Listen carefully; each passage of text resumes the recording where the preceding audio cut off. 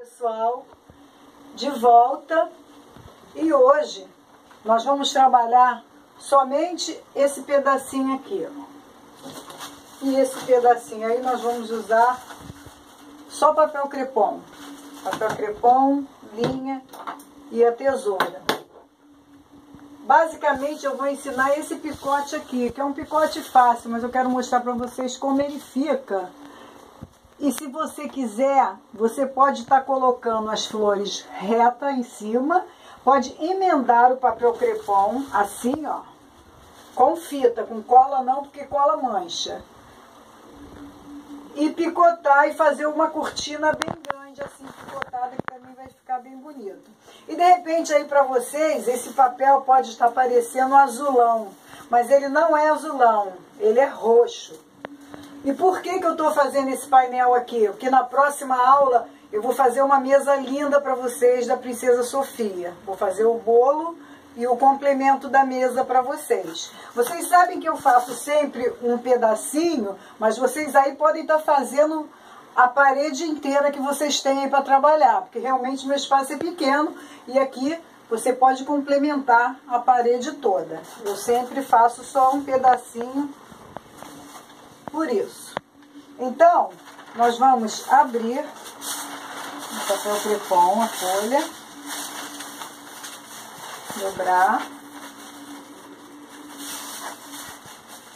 dobrar mais uma vez, e mais uma vez. E a nossa flor começa a cair. Mas daqui a pouco ela volta para o lugar. Aqui, ó. Dobramos. Tá?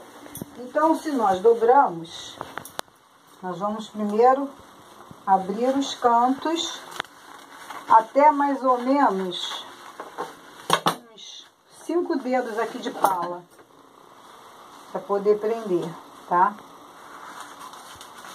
Nós abrimos, não abri tudo, mas eu vou abrir.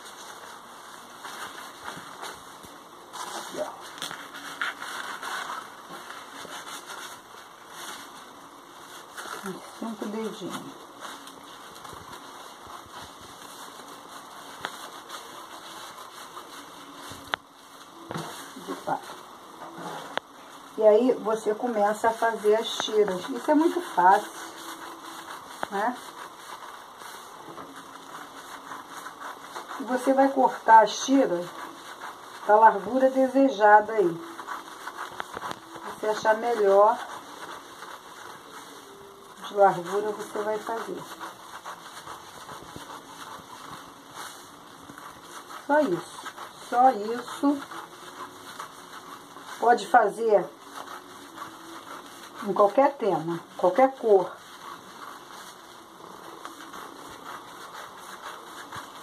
Você pode estar fazendo.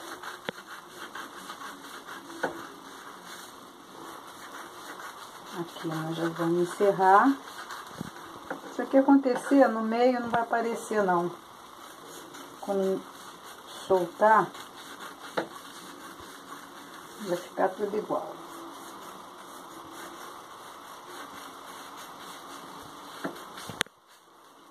Aqui abrir. Então, olha, nós vamos chegar nesse final, tá vendo? Ali, ó, eu deixei assim dobrado em dois para fazer mais volume. E na hora que você for prender para fazer, se quiser fazer um acabamento, você dá uma dobradinha aqui em cima. Olha. Tá? E como a minha parede já tem um pouquinho de cola aqui, por natureza, ó, tá vendo o que eu falei para vocês? De aumentar, de fazer a parede Aqui, ó, eu vou cortar para você ver, olha. Eu posso fazer isso. Complementar essa parede aqui, tá? Aqui é que eu tô sem cola. Você pode complementar assim, como eu falei. Se você tiver colado aqui, ó, uma fita, Aí você vai ter vou chamar de cortina, né? Uma cortina mais comprida, que vai dar esse visual aí, você colocando as flores depois ali em cima. Então, esse corte aqui é bem fácil, é só isso. Picotou, você já começa a montar o teu painel. E eu quero aproveitar para lembrar vocês que essas flores aqui desse tamanho, essas gigantes aqui, você vai usar uma folha do papel crepom. Por quê? Você vai dobrar aqui no meio, olha, vai achar o meio, cortou, abre a folha.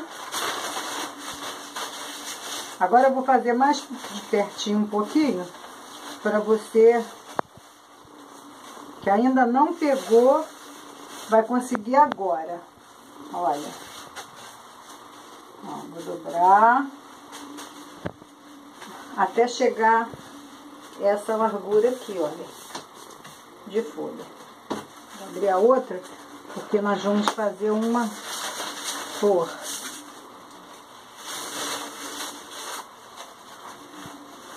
Aqui.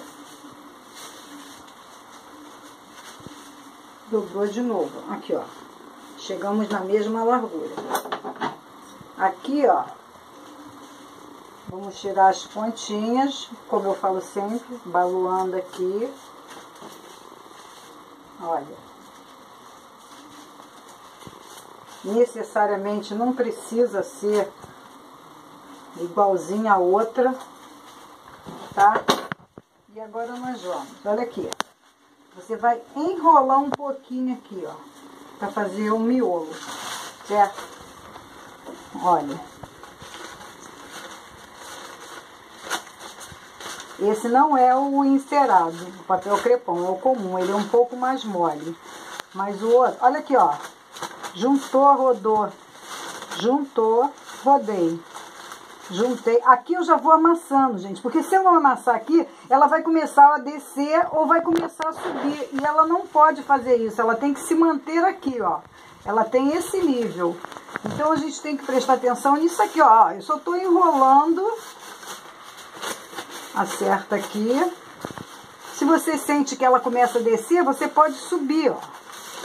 Você vai subindo, tá? Aí, para você fazer essa pétala mais larga, com mais distância, você faz isso, ó. Você aumenta a prega. Aumenta a prega e roda, olha. Ó. Aumenta a prega. aqui. Por isso que eu falei que nós vamos usar a folha inteira do papel crepom. Aqui eu vou começar, então para eu não começar aqui encostadinho que vai ficar essa falha, eu venho um pouquinho mais aqui atrás. E começo tudo de novo, ó. Olha, e vou manter. Aí eu já vou fazer a prega bem maior. Olha, ó, olha quanto agora, olha juntei, rodei. Olha. Ó, bem maior. Vou rodando. Olha. Bem maior, vou juntando e rodando. Olha como a nossa flor já vai ficando bem bonita. Maior. Ó. Juntando. Olha. E vamos encerrar aqui. Tá? Olha. Que bonita ela fica. Aqui eu vou com a linha. Pode botar dupla se você não confiar que a linha possa arrebentar, porque você vai ter que puxar. Mas essa linha aqui de, de pipa, ela é boa. Aqui, ó. Aqui eu vou amarrar.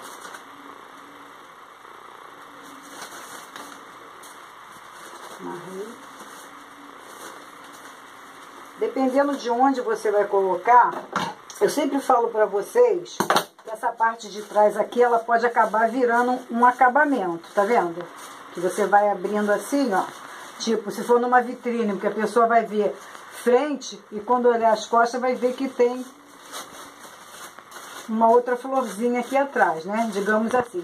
Mas como nós vamos colar mais ali na parede, o que, que você pode fazer? Você puxa esse tanto aqui e esse miolinho aqui, ó, você tira ele fora, para não ficar uma coisa muito grossa, senão a tesoura não vai cortar.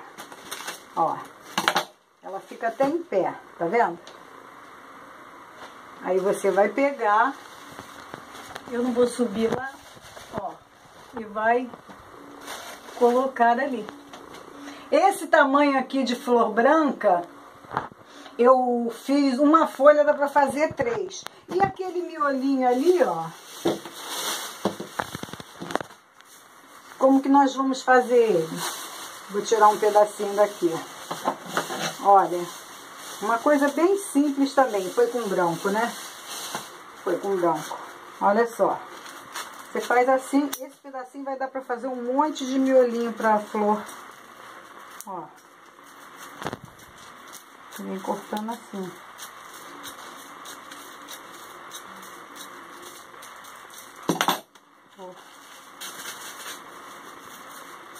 Abre.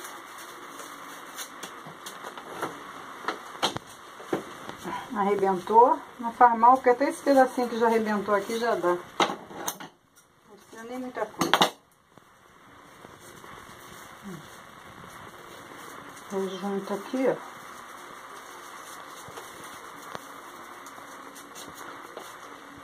Tirando essa flor de novo. Aqui, ó. Aí você enfia aqui.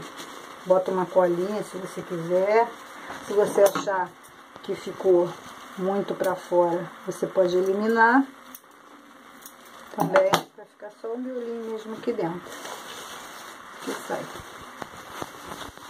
E nós vamos estar complementando o nosso painel.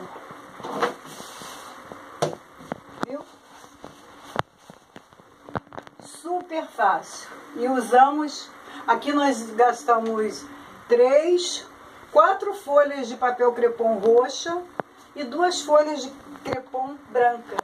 Só com isso aí, olha, você, que você gaste um real em cada folha de papel crepom, olha quanto que ficou esse painel. Tá bom? Gostaram? Então, na próxima aula, é, como eu havia falado, vocês vão amar o bolo que eu estou preparando para vocês da Princesa Sofia. Não percam as próximas aulas. Eu estou colocando a aula no YouTube toda quinta-feira, meio-dia mais ou menos. Eu estou postando lá, estou colocando lá uma aula. Então, se você está gostando das minhas aulas, vamos dar um joinha aqui inscrever no canal ou colocar o vídeo como seu favorito. E se você quiser me seguir também, eu estou lá no Instagram, Fátima Fioc 2015. Beijo, meninas, para todos e para os meninos também que tem aí dando uma força aí no meu canal. Muito obrigada e até a próxima.